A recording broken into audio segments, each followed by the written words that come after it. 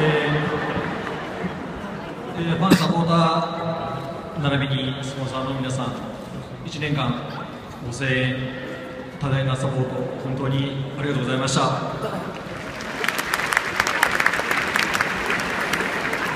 えー今年のリーグ戦に関しては正直、選手も、まあ、ベガルタに関わるすべての人が納得しないですけど、僕たちにはまだ天皇杯っていうタイトルがあります。えーベガルタのためにも、そしてテグランモリ監督のためにも、みんなで天皇杯取りに行きましょう。えー、1年間どうもありがとうございました。